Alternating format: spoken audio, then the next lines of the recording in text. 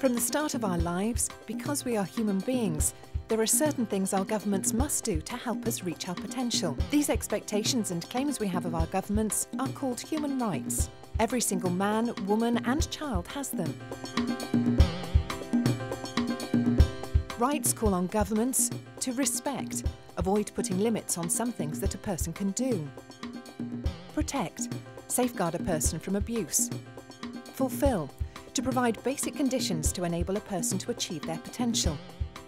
The most basic minimum human rights standards have been discussed and written down by countries. Countries have agreed to follow them. These have become international law.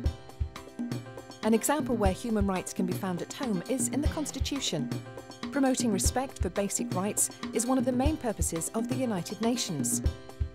This is achieved through activities of United Nations organisations around the world.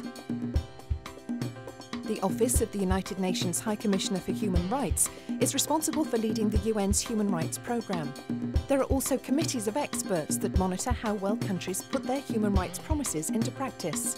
And there is an assembly of countries called the Human Rights Council, which discusses different human rights topics and situations from around the world. Find out what your rights are, learn more about the UN Human Rights Programme, and spread the word. Visit ohchr.org.